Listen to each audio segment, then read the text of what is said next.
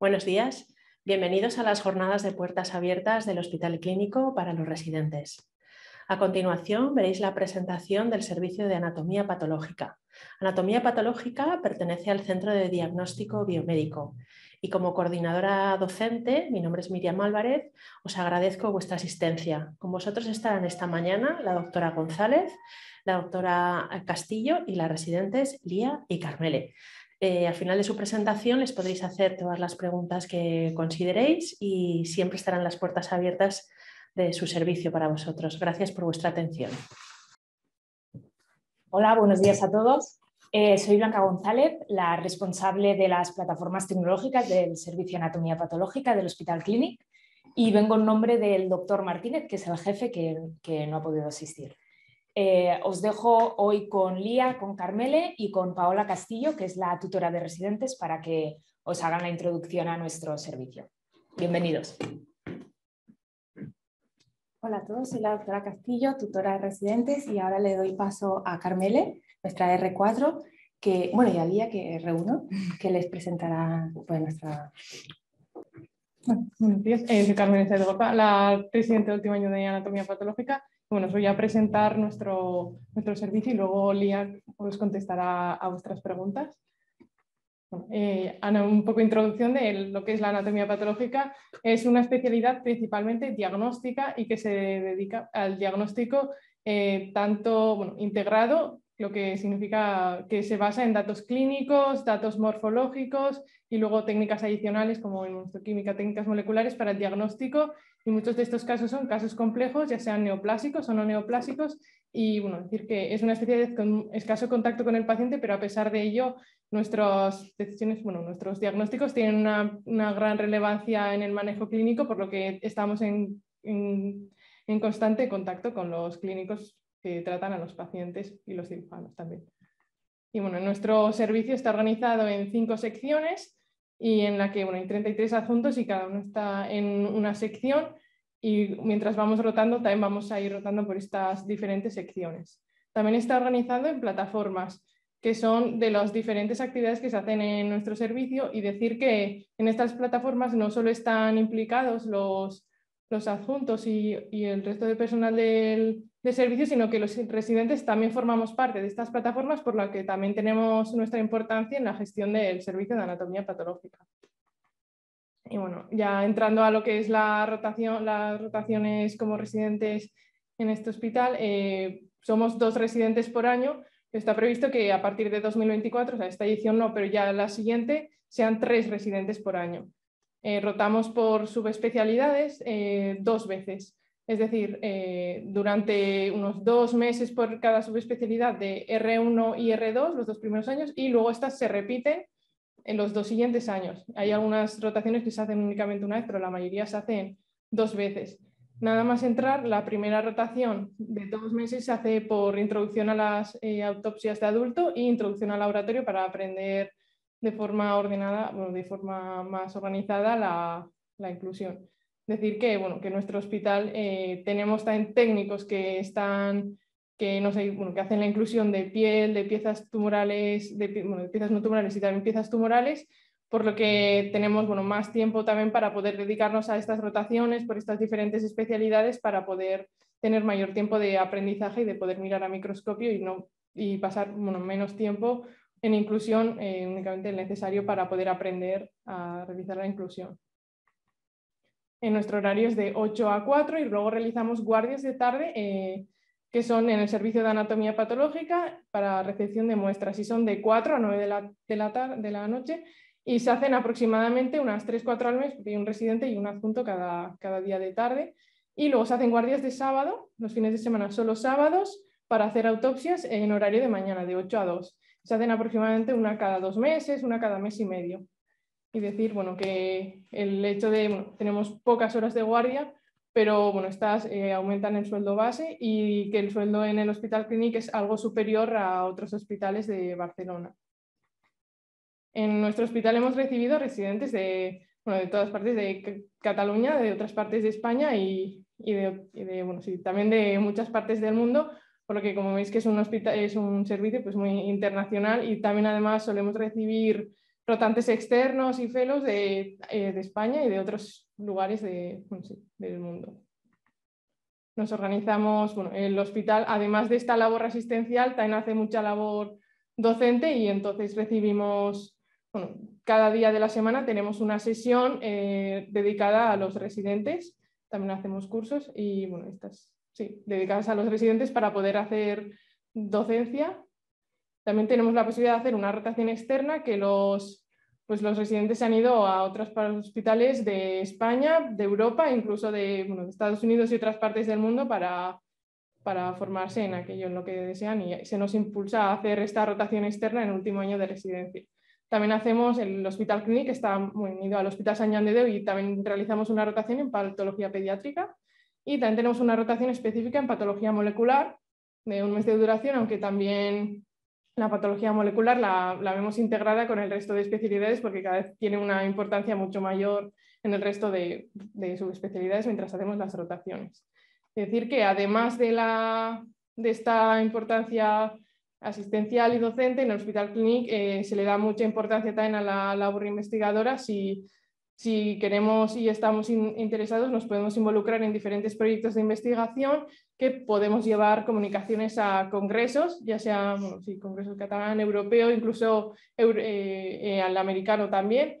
Y eh, también tenemos pues, posibilidad de participar en estos proyectos de investigación, hacer la tesis y cuando acabemos la residencia, el Hospital Clínico ofrece unos contratos final de residente para los para los residentes que han acabado el último año y poder tener un contrato de dos años dedicado a la investigación. Decir además que eh, este año de reciente incorporación tenemos un máster en competencias avanzadas en anatomía patológica, por lo que al acabar la residencia, y está financiado por el servicio, por lo que al acabar la residencia no solo podríamos tener toda la experiencia que sabemos, sino un máster adicional. Y bueno, ahora voy a poner unas fotos por si, bueno, por lo que no por los que no podéis venir a visitarnos, pues podéis ver, mm, pues podéis ver cómo es nuestro servicio. Este es el despacho de residentes en el que bueno, pasamos gran parte del día y como podéis ver, cada uno tenemos nuestro microscopio y dos pantallas para poder visualizar también, hay una pantalla normal y una pantalla más grande para poder visualizar los casos escaneados porque está previsto que haya una digital, bueno, que se digitalizarán las laminillas. Como podéis ver, bueno, también tenemos ventanas para, porque no estamos en un sótano. Esta es la sala de diagnóstico en la que corregimos los casos con los adjuntos, decir que bueno, tenemos unos adjuntos muy implicados también en, la docencia y cada día pues, revisamos los casos con ellos en estos microscopios de dos, dos tres cabezas. Es decir, también que tenemos gran, un gran volumen de, actividad con estas casi 68.000 biopsias que hicimos el, el, año pasado. También tenemos bueno, microscopios multicabezales para poder discutir los casos, eh, se enseñan los casos entre, entre los adjuntos, también para docencia residentes, por lo que este microscopio multicabezal también lo utilizamos mucho. Es decir, como ya he avanzado anteriormente, el servicio está en, eh, se va, está eh, digitalizado y para poder visualizar estas laminillas y hacer un diagnóstico por, por el ordenador y sin mirar a microscopio. Eh, luego, bueno, esta es la sala de inclusión en la que cada, cada una de las, es una sala de inclusión moderna en la que cada, cada estación tiene su propio cámara de extracción de, de, formol y tiene su propio ordenador en el que podemos hacer fotos, podemos tomar mediciones y, y bueno, hay la selladura de formol para poder disminuir la, la exposición al formol. Eh, también hacemos los residentes, estamos directamente implicados en hacer las biopsias intraoperatorias. Esta es la sala de, de intraoperatorias en la que hacemos el diagnóstico en congelado y después pues eh, llamamos, bueno, le avisamos al adjunto responsable y tenemos una comunicación directa con el quirófano y también como podéis ver la actividad de operatorias es, es, muy, es muy grande también y los residentes estamos implicados en estas actividades, en esta actividad porque vemos muchas, también muchas biopsias intraoperatorias y algunas de estas son por OSNA para el ganglio centinela de mama. También rotamos dos veces por citología y durante la rotación de citología tenemos la posibilidad de hacer las funciones y la evaluación in situ de, estas citologías y también como podéis ver la actividad en, citología es muy, muy amplia con pues, más de 3.000 eh, citologías ginecológicas y casi 11.000 no ginecológicas. También hacemos unas, muchas, bueno, esta es la sala de autopsias y decir que el Hospital Clínico también tiene una gran cantidad de, de autopsias para, bueno, en el que se le da mucha importancia por su relevancia clínica también. Y en esta es la sala de autopsias en las que se ven como tres, bueno, sí, tres posiciones para poder realizar autopsias, tenemos cámaras para poder hacer fotografías y es, bueno, es una sala bastante moderna y tenemos gran actividad de autopsias, pero también tenemos técnicos que nos ayudan con la, bueno, que realizan ellos la visceración para poder eh, hacer la autopsia pues de forma más cómoda. Y aquí, bueno, una foto más cercana de, este o sea, de, de, la cámara y como podéis ver, se está visualizando un cerebro y, bueno, muy asociado a, nuestro servicio hay un banco de tejidos neurológicos en el que hay ciertos, algunos patólogos que también eh, bueno, sí, son, eh, trabajan en el banco de tejidos neurológicos y, bueno, también podemos ver casos de enfermedades neurodegenerativas este bueno, es el laboratorio de inmunohistoquímica en el que se hacen gran cantidad de técnicas, el laboratorio de la sala de FIS en el que también podemos, bueno, también vemos FISes durante nuestra rotación. Eh, aquí es donde se realizan el corte de, de, las, de los bloques, eh, pero se va a iniciar una microtomía robótica, por lo que liberará tiempo de técnicos para que puedan realizar más labores de inclusión que nos quitarán nosotros tiempo de inclusión para poder realizar eh, diagnóstico. Este es donde se archivan las preparaciones. También tenemos un microscopio confocal. Eh, aquí es el laboratorio de biología molecular y luego eh, también hay un core de biología molecular asociado al servicio en el que también se hacen técnicas adicionales de biología molecular, de, secuenciación de ADN en la que rotamos durante la, durante la rotación de biología molecular, eh, podemos visualizar su labor.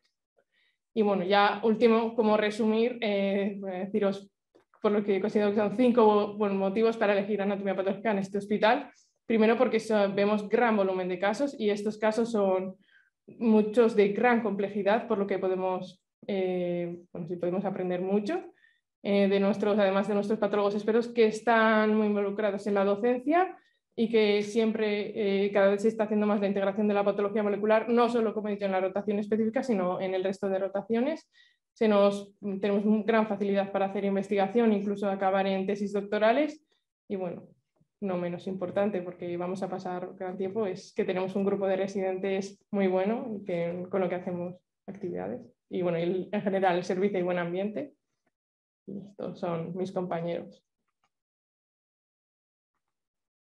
Y por, por final, si escribiendo si tenéis más dudas y tenemos aquí nuestros nuestros correos porque estamos abiertos si queréis visitarnos o si queréis hablarnos, preguntarnos cualquier cosa más adelante. Y os dejo con el turno de preguntas con Lía.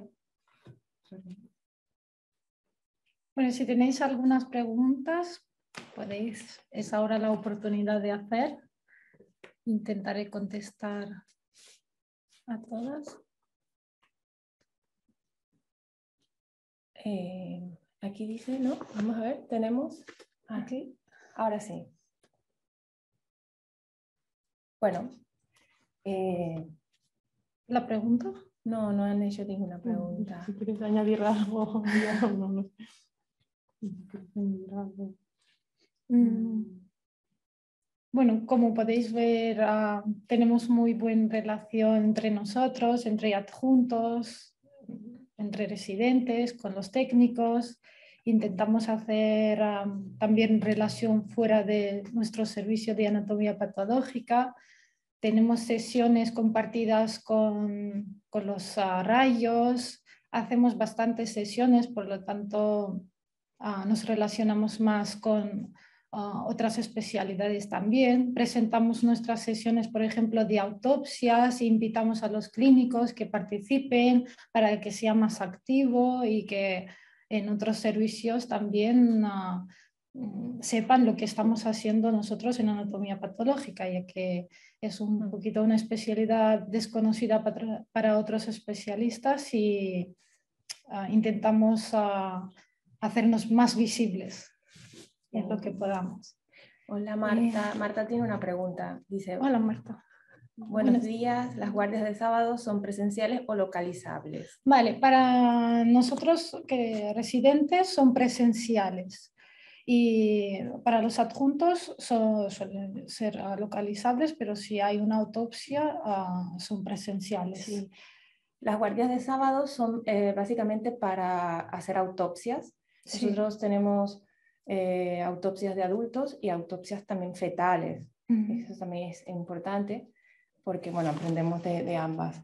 Eh, y son presenciales para los residentes son de 8 a, a 2. Eh, el día que hay autopsia también viene el adjunto y el día que no, pues en, esos, en esas horas usualmente lo utilizan para estudiar, para adelantar trabajo. Sí. Es, yo creo que es un día que se puede aprovechar mucho. Que, sí, un sábado es un buen día para adelantar cosas, estudiar, mirar al microscopio, si no hay una autopsia, no siempre tenemos una autopsia el sábado, hay sábados que no hay autopsias, por lo tanto es un día perfecto para hacer cosas que tengamos pendientes o que vamos a hacer. Mm, si el sábado cae en, si el sábado cae en festivo, no hacemos estas. Ah, esta se cierra laboratorio. Sí, los festivos el laboratorio está cerrado y si cae el sábado, pues también. Vale, ¿alguna más? ¿Hemos contestado tu pregunta, Marta? Perfecto. bueno, no sé, yo poco que añadir, solo que, que, yo creo que es una buena opción el Hospital Clinic. Hay, hay trabajo, ¿no? La inclusión es para estar mucho tiempo allí, pero yo creo que se recompensa con, con también la, la histología, que, que, hay oportunidad de, de ver muchísimos casos se rota por especialidad y los adjuntos son especialistas, o sea, cada adjunto se dedica a un área específica de conocimiento y entonces, bueno, así se aprende también mucho de, la experiencia de cada uno. Mm, ¿Qué más?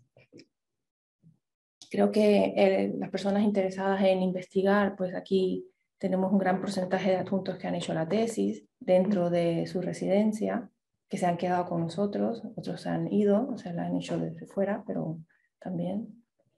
Y creo que ya no hay más preguntas. yo creo que a mí lo que más me gusta del Hospital Clinic es, que son compañeros todos. Yo estoy súper contenta. Y se ha notado bastante durante estos momentos difíciles que a veces le toca pasar al clinic, es cuando se ve esta unión ¿no? entre todos, eh, mm. cómo colaboramos, trabajamos juntos y sacamos las cosas adelante. Y que nada nos puede afectar y romper. Em, creo que hay Claudia, Laura y Ricardo. Ricardo López. Sí, creo que era. Bueno, Creo que no tienen preguntas, ¿no? Mm.